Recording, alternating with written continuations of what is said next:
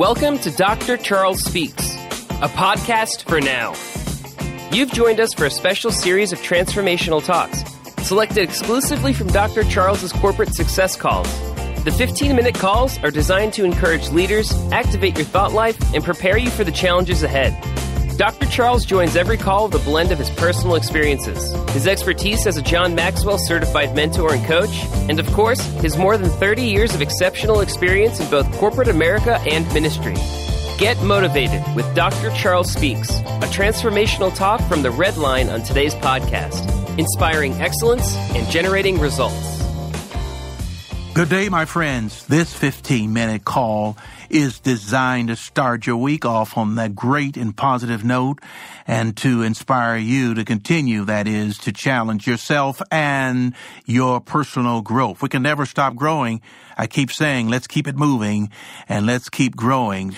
Today, I want to talk to you about forming a dream team of leaders. Uh, when you think about leadership, it's so important that you recognize that in of yourself, you cannot do it all. There's not enough time in the day, not enough time in a week. It's just simply very hard to even think about trying to do all that what is required. When you're able to develop a dream team, a, a team that comes together, a team that is working together, a team that is being equipped and developed to do their very best to ultimately get the job done and not only getting the job done one time, but getting it, the job done consistently month after month, year after year, and leaving the blueprint for others to follow.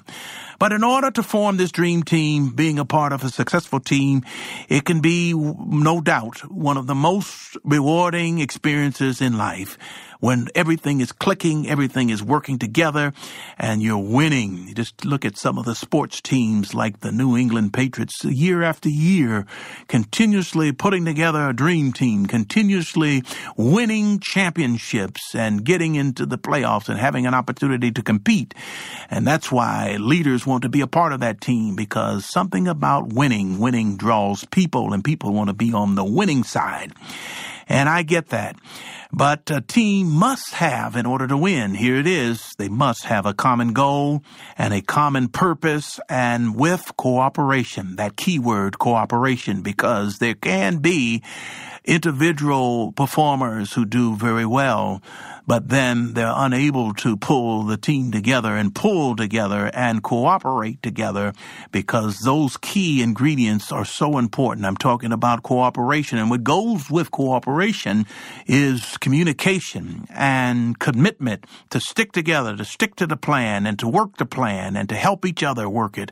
And it becomes like textbook and people just admire from the sidelines. Look at the, the performance of that particular team. Look at the performance of how they are coming together and how they know where everybody is going to be at a certain time and what is expected of them at each time. And when someone uh, is not on point, uh, how they're able to get their arms around that person and bring them all together.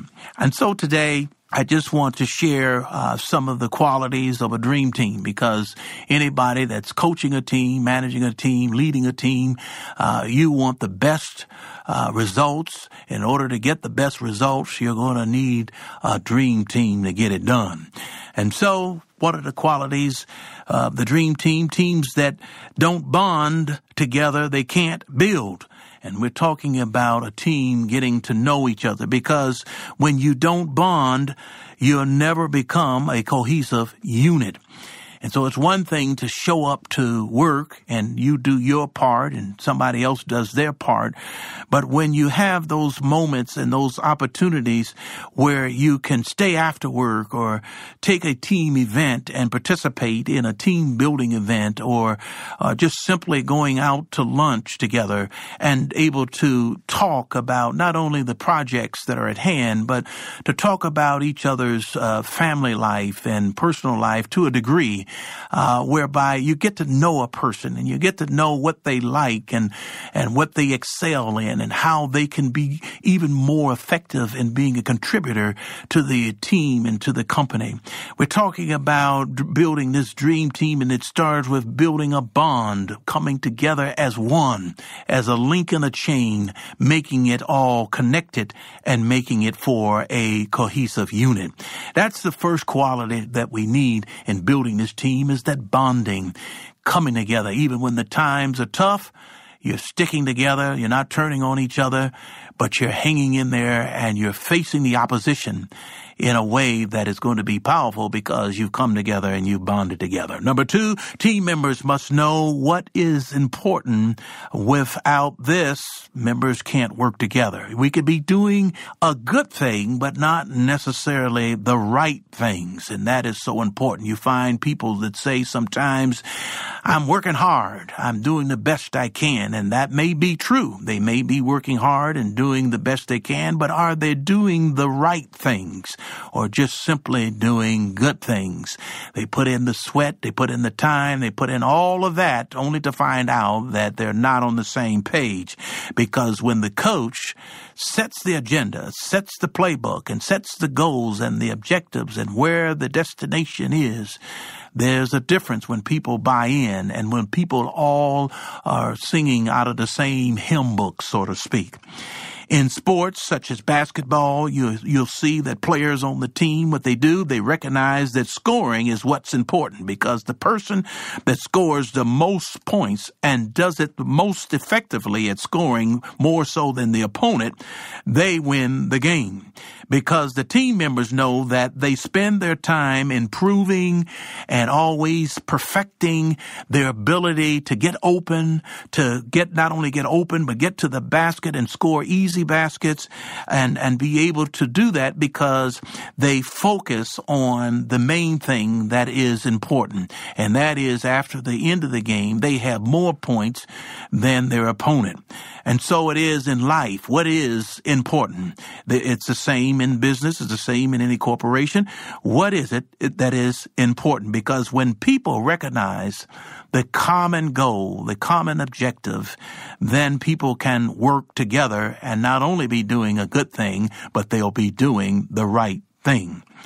So those are just two qualities. I, I can't, with 15 minutes, we can't give them all, but when you think about it, you've got to bond together and you've got to know what's important. And next, you know, team members, here's the key ingredient. Uh, they communicate with one another because you can't be on the basketball court or on the football field, the soccer field, the lacrosse field, and all these different sports that the players play without communication because sometimes in the, in the midst of the game, the crowd may be too loud. Uh, someone didn't get the signal from from the sideline on what the play is. While the players on the field, they've got to communicate because communicate just it is is important uh, for the team leader to communicate. It's also important for the individual players on the floor that they must communicate with one another because without it, then all you have is a coach on the sideline just hollering and screaming and nothing is happening. But when the players are there to reinforce what the plays are and able to work them out right in the midst of the action on the floor,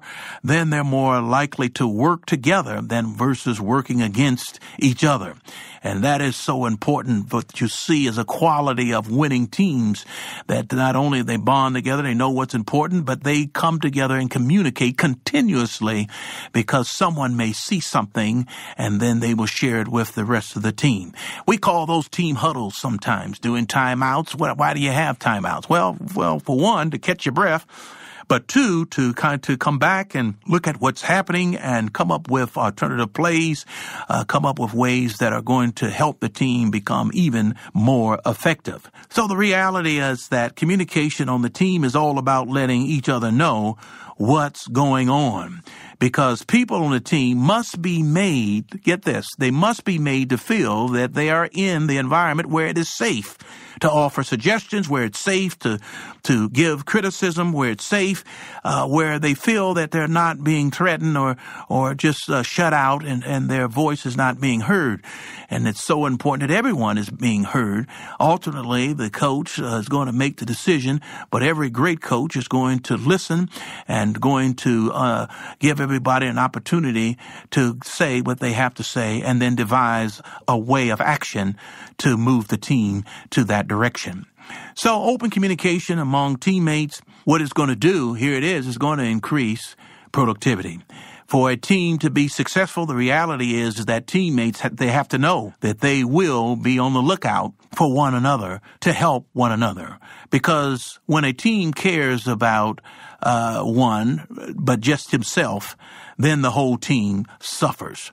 And so when the person who is out there being a leader when they and look at everyone and the contributions that everyone can make, then the communication is so much more effective when they're able to share those insights. Number two, we talked about communication is key, but team members, we got to grow together. We talked about that's all part of bonding too, but growing together because it's the team leaders it's the coach or the manager. It's it's it's our leaders as leaders the responsibility to orchestrate the team's growth because uh, he or she must make sure, I'm talking about the leader, that his people grow both personally and professionally. You'll be amazed at all of the great coaches. Not only do they coach a team how to play the game, but they're also involved in their players' personal lives and helping them become a man or a woman.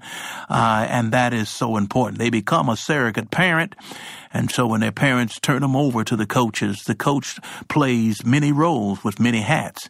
And at the end of the day, they're both getting the teachings from a personal perspective and from a professional perspective as well.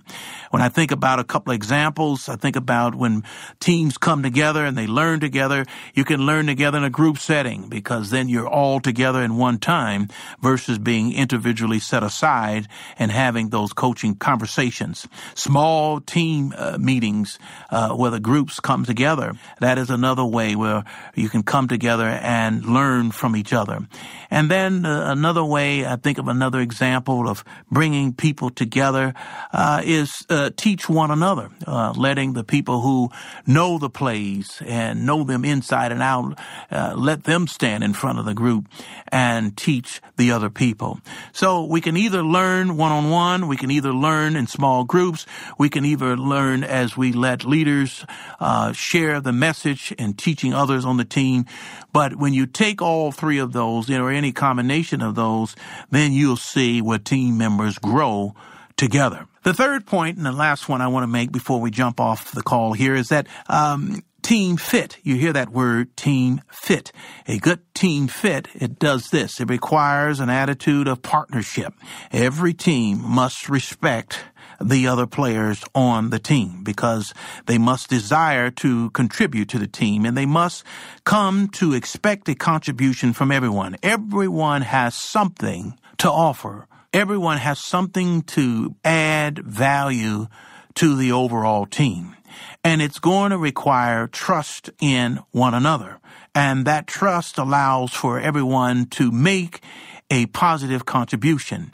It allows team members to begin working not as individuals, but as a cohesive group of people coming together. Because as the team fit becomes more stronger and each person is willing to put team first, then what you're going to see is people begin to recognize their different roles on the team and team members will know exactly where they stand and what their role and what their responsibility responsibility entails because knowing where you stand at every moment, it separates great players from adequate players.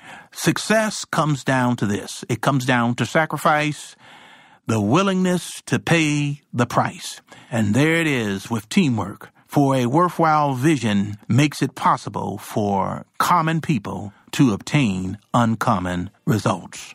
I want to thank you today for joining me on the Red Line. This is Dr. Charles. It's a great day already because you're on the call and you're going to make it even better the rest of the way this week. Thank you again. God bless you. Until next time, you've been listening to Dr. Charles. Thank you for listening to Dr. Charles Speaks.